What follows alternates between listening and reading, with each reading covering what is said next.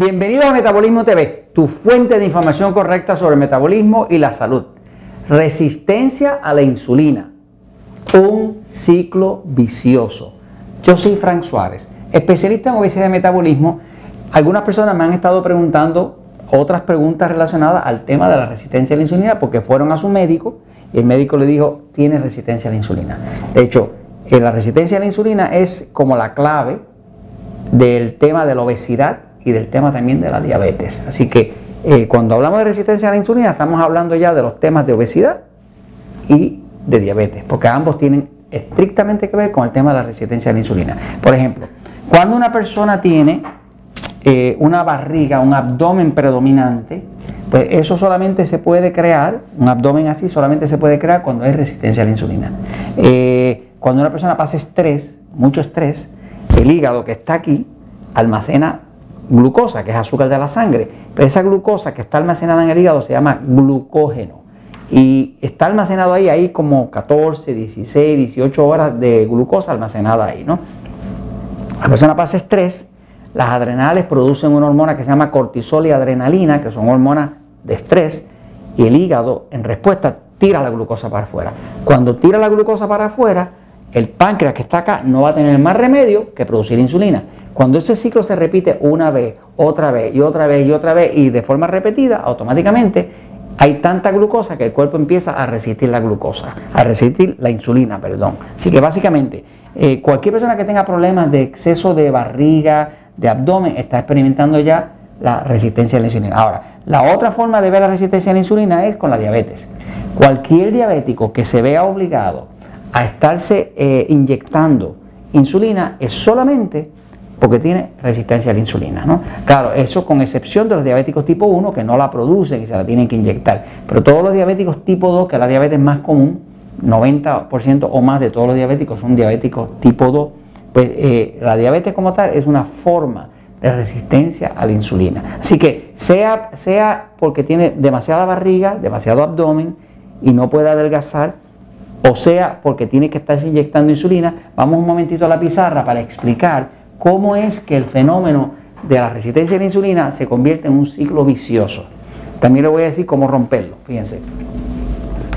Si yo tengo aquí una gráfica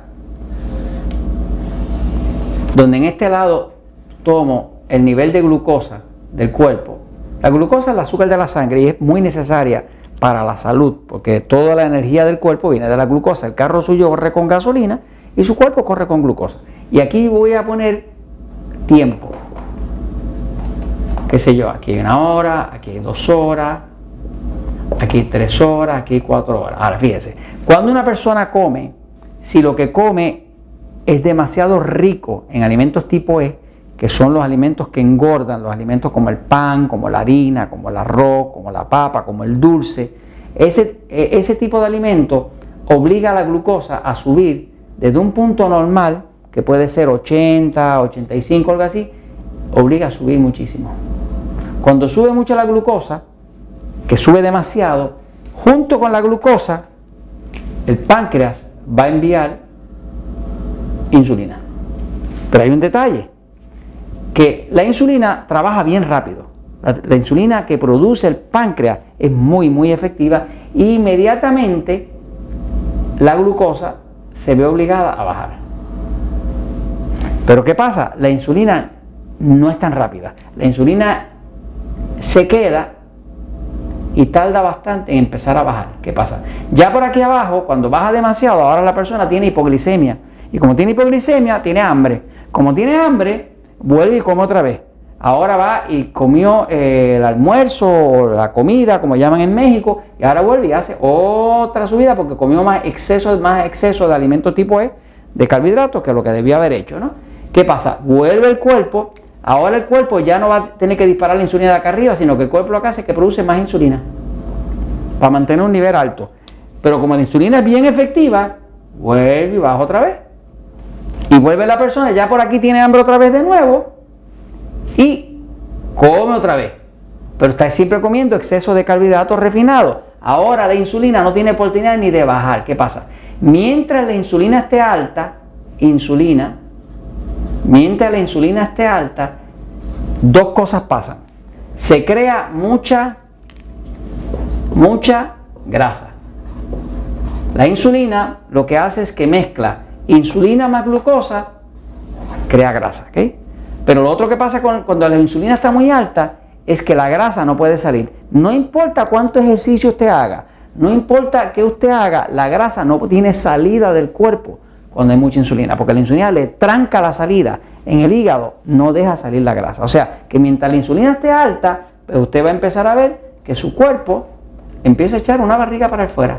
¿eh? Y empieza usted a engordar de lado a lado, pero sobre todo la barriga. ¿Por qué? Porque esa resistencia a la insulina, mantenerla muy alta, es lo que hace que entonces el cuerpo solamente tiene una alternativa con todo el montón de glucosa, tiene que hacer más grasa, más grasa, más grasa, más grasa, más grasa y no tiene salida. Okay. Ahora, la forma de romper la resistencia a la insulina, hay forma, se hace una dieta tipo 3x1, es una dieta baja en carbohidratos, es una dieta donde básicamente usted aprovecha este conocimiento, de una dieta de tipo hormonal, la dieta 3x1, y usted reduce la cantidad de elementos tipo E, que son los que disparan la glucosa para arriba. Ahora, en los casos más severos hay que hacer inclusive ayuno intermitente. Un ayuno intermitente le enseña a usted a comer cada 14 horas, cada 16 horas, ¿verdad? Este, eh, darle suficiente tiempo al cuerpo para que esa, insulina que está tan arriba tenga una verdadera oportunidad de bajar. Hasta que esa insulina no baje, no hay salida para la grasa. Así que básicamente hay que como que, como que eh, volver a empezar el reloj, ¿no?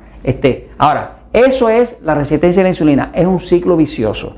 Usted lo puede evitar con la dieta 3x1, con el conocimiento que impartimos aquí en Metabolismo TV, con el conocimiento que le da el libro El Poder de Metabolismo o el libro Diabetes sin Problemas. Y esto se los comento, señores, porque la verdad siempre, siempre triunfa.